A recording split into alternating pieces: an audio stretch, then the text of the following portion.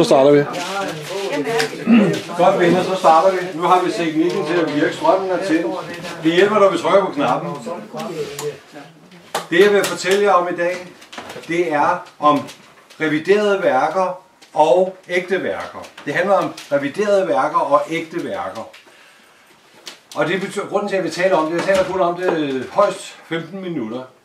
Øh, og så I skal... Det, når så sket, så... Nej, du, du skal røre ved, ved den, Ved den her? Okay. ja, ved platten. platten. Nå, på den måde. Den, Nej, nej, nej, nej, nej. nej. Jo, jo. Sådan der. Nu sker der noget. Jeg skal røre den her en gang imellem, ikke?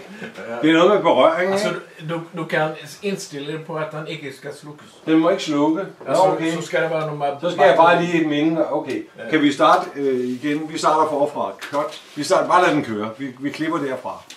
Det, det handler om nu, i, da jeg læste Ingemar Fridels udmærkede og meget vigtige artikel i den nye verdens kultur, det her øh, tidsskrift, som jeg er redaktør på, der har vi et billede, det billede vi har på, på fjernsynet her, eller på fjernsynet, det har vi også inde i tidsskriftet.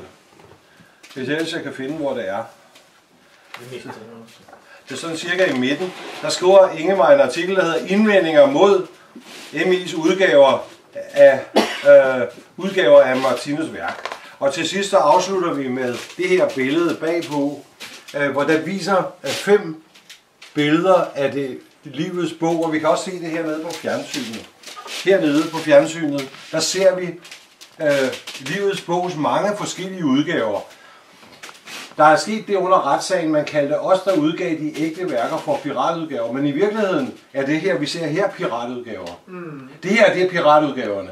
Og vi kan også kalde dem det, Ingemar kalder dem, det er de re- reviderede udgave, udgaver, udgivet af revisionisterne. Dem, der vil sy- mener, at revisionisterne, det er de mennesker, der mener, at det er bedre at forbedre Martinus værker, end at beholde de originale værker, som kom fra Martinus. Og det vil sige, at den bog, vi har her, den udkom i 1992. Øh, lige kort, et halvt år efter, at Martinus går bort. Den ser sådan ud. Der er romertal på, hvis I ser på det. Så kan I se, at der er romertal her, der står Borgen. Det er en aftale mellem Jarl Borgen, den gamle øh, redaktør eller direktør på Borgens forlag. Borgen står hernede, der står romertal her, der er, en, der er Martinus stjerne her, og livets bog står der. Og så heroppe står der det tredje testamente ovenpå. Ikke sandt? Der kan vi se, der står det tredje testamente oppe i toppen, ikke? Du mener 1982? Ne, Du sagde 92. undskyld, det, er- det er retter lige mig selv. Det er 1982. Den udkommer i november måned cirka i 1982. Martinus går bort i marts måned 1982. Mm. Godt, jeg vil lige blive rettet. 81. 81. Så kan det være, at jeg siger helt forkert, så er det måske i 81, den udkommer. Det udkommer et halvt år efter, Martinus går bort. Ja. Det er det vigtige. Men det er vigtige, stadig 81. det, vigtige, det vigtige er ikke, at jeg står og fumler i det. Det vigtige er, at det, der bliver sagt, det er korrekt. Og det betyder, at vi ser hernede en bog med tre romertal på, og den, vi har den også heroppe. Der står her, den her bog, jeg håber ikke, det hele vælter ned, men den, den har vi her. Sådan, sådan ser den ud. Her har vi så syvende bind af den. Der, er- der er romertal 7 på den. Der har vi her. Og vi kan se, det er romertal 7. Her er det romertal 3. Men selv denne her bog, det kommer jeg lige til lidt senere, den kunne man jo umiddelbart tro, den er ægte. Det er den heller ikke. Man rettede allerede i bøgerne, lige efter Martinus har lukket øjnene. Her er der ændret i den over, over 20 gange. Og det, det tror vi er en bog. Det er ordet mineralier, det er rettet hele vejen igennem. Man har taget det ud og lavet det om til mineralier, men to gange har man glemt at tage det ud. Mm. Så man sad og kiggede, denne gang havde man jo ikke tekstbehandlingsanlæg, så man, man tog det ud, man kunne se. Man lavede lidt om, allerede i den her bog er der ændret i bøgerne. Så har vi en anden bog her, det er det tredje testamente, der er så kommet et J ind, man har et I herop. Martinus bestemte på et møde, at han, han blev forelagt muligheden. I det møde sad Vejrav, Erik Vejrav, Ibs Schleicher og Martinus. Og det er refereret fra en af de herrer, der sad i mødet til mig, at Martinus blev forelagt fra Ibs Schleicher, man kunne lave J, det er moderne, det sagde Ibs Schleicher, så sagde Martinus, og der nogen sagde I, men Martinus har altid skrevet i sine værker alt med J. Uh, han har altid skrevet tredje med I alle vejen. Og det vil sige, så, så han afviste det, og han sagde, det skal være med I, det ser pænest ud. Mm. Og det kan man jo se, at I, det har det flu, linjen flugter her. Mm. Her der har vi det der J, der hænger ned. Mm. Folk, der ved med noget med bogstavernes energi, ved, at J, det er slapt energi. Slap energi. I, det peger mod himlen. Det ved det, dem, der ved noget om bogstaver. Så herover der har man så, stjernen er der stadigvæk for neden, så har man så skiftet romertal ud med et arabertal. Lidt senere, så finder man så ud af nogle år senere, vi beholder, så tager man så J'et, så tager man, så tager man, og her har man også arabertallene, så man, og så flytter man det, her har vi så, her har vi så valgt at sætte tallet herned. Man er konsekvent, inkonsekvent. Ja. Man er konsekvent, inkonsekvent. Og det vil sige, så har man her en udgave, og der har man så, øh, skrifttyperne ændrer sig, de hopper op og ned, og man har endda gået så vidt som på den her over. Det er også sådan en, nogle gange, så tager man stjernerne i toppen, og nogle gange så tager man stjernerne i bunden. Mm. Hvad er konsekvensen i at have stjernerne oppe og have stjernerne nede? Have romertal, have ikke romertal, have arabertal, have romertal osv. Og man, man, man, man har simpelthen kørt en linje der. Jeg havde nogle samtaler med Ove Voldby. Øh, øh, mange år har jeg talt med Ove Voldby. Og vi begyndte jo retssagen, fordi vi kunne, her kan vi bare se udvendigt, kan vi se, der er ændret på bøgerne. Udvendigt er der ændret på, ændret på bøgerne. Men der var sandelig også ændret på dem indvendigt. Og nu er det ikke så meget, om der er ændret 200 gange eller 250.000 gange. Det skal vi ikke diskutere i dag. Vi har talt det op. Søren Ingemann har talt det op. Der er ændret rigtig, rigtig mange gange. Og det vil sige, bare, bare på det ydre skin, det her det er et billede, at Ejner Hjort har taget på et antikvariat i Aalborg, tror jeg. Det stod inde på hylden. De var bare samlet sammen på en hylde. Øh, en antikvariat her for en måned siden, hvor han sælger, den antikvariathandler, sælger, sælger øh, det tredje testamente, Martinus værk. Nu ved jeg godt, at den ene af de her bøger, det er ikke det, det er det evige verdensbillede. Billede. Det skal vi ikke regne med. Så man kan sige, at den bog her, ved det her 1, 2, 3, 4, de fem bøger, de er det tredje testamentets hovedværk, livets bog. Og de er alle sammen forskellige, men de er sandelig også forskellige indeni dem. Det kan jeg fortælle om en anden gang. Nu kan jeg, kan jeg starte med at fortælle om, hvad der er på. Alle kan jo se, selv et barn kan se, at her der er kørt en konsekvent, ukonsekvent, inkonsekvent linje med, at hvordan bøgerne ser ud. Jeg har dem også hjemme på min egen hylde, og, og de er, jeg har endnu flere bøger, og de er alle sammen forskellige. Du kan stort set ikke finde to, der er ens. Og det er, det er symptomatisk for det, der er sket. Og så grunden til, at vi skulle betale 2,1 millioner, vi stadigvæk betaler af på, det var fordi, vi rakte hånden op i 2003. Jeg fik en drøm med Martinus, der sagde, stop det der. Og Tage sagde, stop det der. Han sad og læste bisættelse. Fire mænd sad og læste fire bøger, der var fire forskellige ting, der stod i dem. Mm. Så sagde, sagde han i 2003, Jan, kan du ikke lige kigge på det der? Det sad vi og kiggede på og fandt 200 sætningsændringer i bisættelse. Det gik jeg ind og forelagde til instituttet. De sagde, jeg sagde, kald bogen tilbage, det er jo, den er jo ikke ægte. Det vidste de godt. Og, øh, men de ville ikke kalde den tilbage. Mm. Det burde være kaldt tilbage. Det var bisættelse. Den er lavet meget om. Mm. For eksempel, øh, ordet, ren, nej, rene, ordet renaissance er, er eksempelvis ændret til, ændret til midlertidig, midlertidig genoplevelse. Sådan ændrer man sætninger. Og jeg gik ud og talte med Voldby om det her for så sent som for et år siden i 2022 har det været. Der siger han til mig efter retssagen, det var meget værre end du troede, Jan. Det var meget værre end du egentlig har givet udtryk for. I, i Martinus levetid sad de faktisk allerede rådsmedlemmer og rettede hele, omskrev hele kapitler i småbøgerne. Jes Arborg, som var her i går, kan, kan, kan fortælle mig, hvad det er for nogen. Hele, man mente ikke, Martinus skrev den godt nok. Den, og bogen blev forelagt Martinus og sagde, den bog, øh, og nogle af bøgerne udkom uden Martinus vidste det. Mm. Og derfor begyndte vi at række hånden op og sagde, at der er noget galt. Og vi påpegede det fra 2003 til 2009, og så blev vi trætte, og så, fandt, så samlede firkløveret helt frivilligt, og så fandt vi ud af at finde en masse penge, en stor pengetank, og så trykte vi livets bog i 2010, og i 13 startede retssagen, og den varede så indtil vi stoppede den sidste år i Strasbourg. Jeg stoppede den der, vi vil ikke bruge flere krudt på det. Øh, og øh, fordi retssystemet det er ikke den vej, vi skal gå, har vi indset. Øh, det var jo også instituttet, der fremlagde retssagen mod os, og vi Øh, kom til at betale bøden. Vi tabte. Men vi har sat et eksempel, der er 100.000 vis af bøger ud, spredt over det ganske land, hvor den, er- som er førstegangsudgaver, er ægte førstegangsudgaver af det tredje testamente.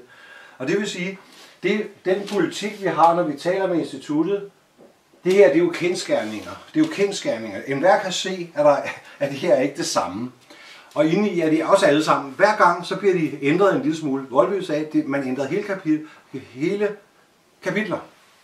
Og øh, jeg har, vi har eksempler på de, på de bøger, hvor der er ændret i dem. Men der skal, det her det er en ting, der skal fremtidens...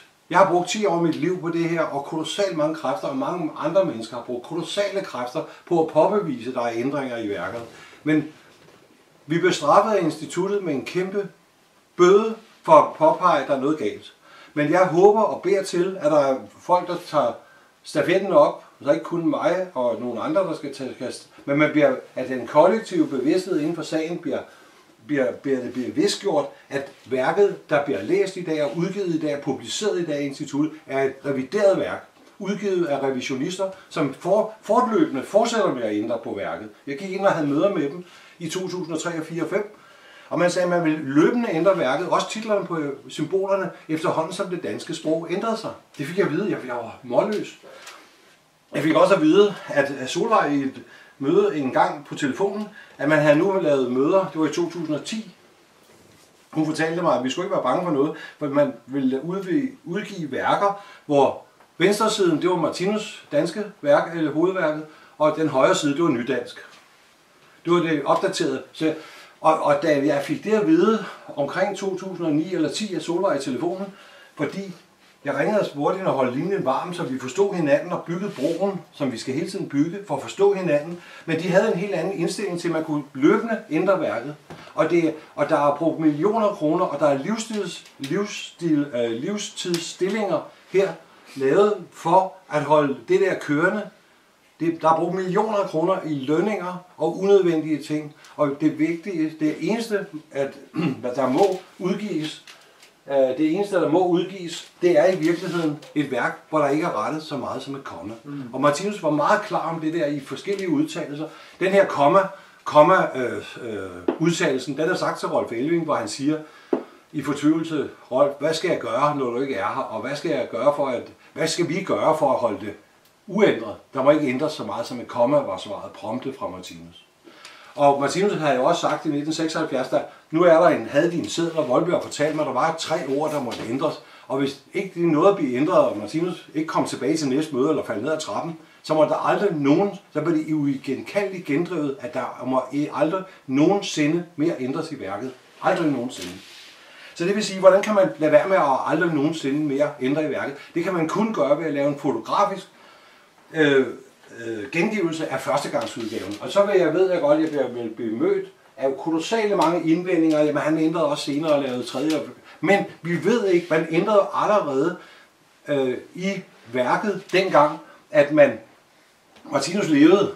Volby fortalte mig, at man i kosmosartikler sad der en dame på instituttet, der var mange, der var ikke kunne lide ordet Gud. Hun sad og, og slettede alle ord med Gud og guddommen i kosmosartikler, der udkom.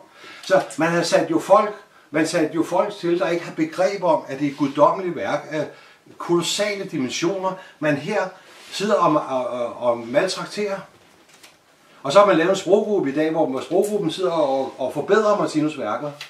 Altså, de, alle sproggruppen, som Ingevar også skriver i sin artikel her i Den Nye Verdenskultur her, der, skriver, der bør han der bør stå uden på alle bøgerne, hvem er de er skrevet af. Ole Ja, Terkelsen det- det- og sproggruppen, alle sproggruppens 10 medlemmer, eller hvor mange der er i den, de er jo vekslet over. Der skal stå tydeligt, at de har æren for, at værket blev forbedret.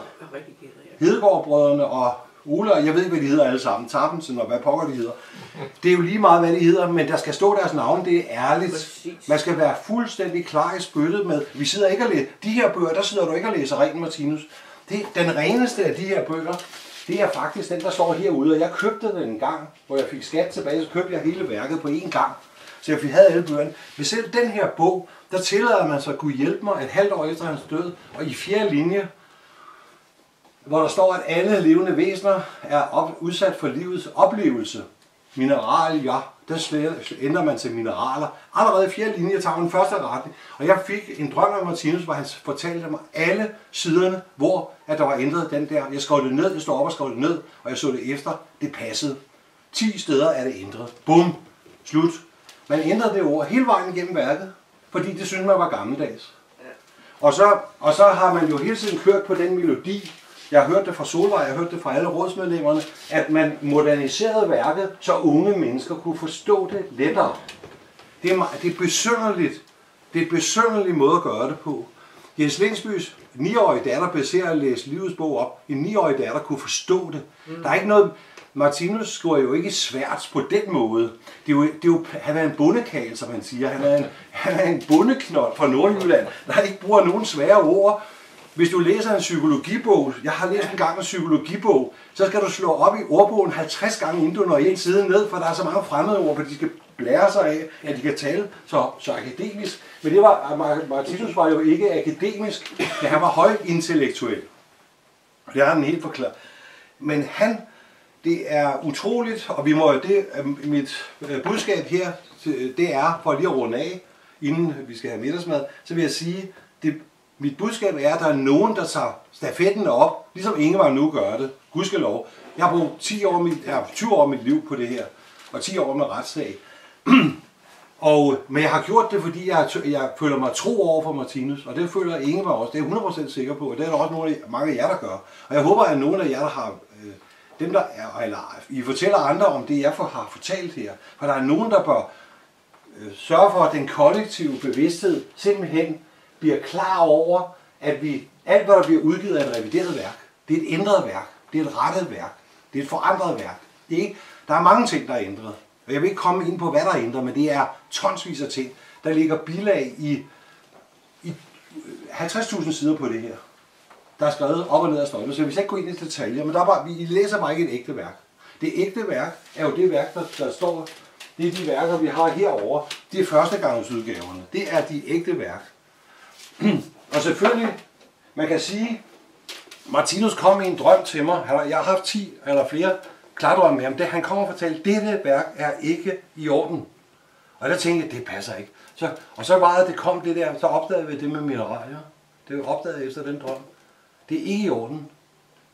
Så det, selv det, og det der udkommer lige efter han dør, lige efter han lukker øjnene, det er ikke i orden i 1981. Det er ikke i orden. Det er heller ikke i orden. Det, det, det har i, i virkeligheden aldrig været i orden, siden førstegangsudgaverne var kommet. Så der, skal, der er kolossal kolossalt oprydningsarbejde. Jeg mener, at sprog, sproggruppen dybest set skal nedlægges. Jeg synes, jeg kan ikke se, hvad den skal sidde der for, fordi man skal bare lave en... Han skriver jo i et af rådsreferaterne, hvor de der bliver spurgt, hvordan skal vi bevare værket. Jo, man kan bare affotografere det, siger han. Man kan bare affotografere det. Hvad skal vi bruge alle de mennesker til, der sidder og ændrer på værket? Og vi, vi, det, vi mister jo tilliden til værket. Det er det, der er problemet. Vi ved ikke, hvem der har skrevet det. Og det, den der, det skal jeg altså gå ud og fortælle folk, øh, der, der er modtagelige for det. I den gode jordbund, så gå ud og fortælle folk, at de sidder, det der bliver udgivet er et revideret værk. Og det, det, det de har udgivet her instituttet, det er piratudgaver af Martinus. Det er piratudgaver. Det ser her, det er piratudgaver. Det er revideret værk, det er piratudgaver. Gør noget ved det.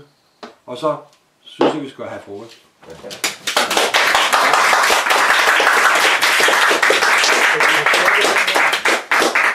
Selv går på. Okay, det må I godt. Så skal jeg bare stoppe det. Hvornår skal vi være her igen?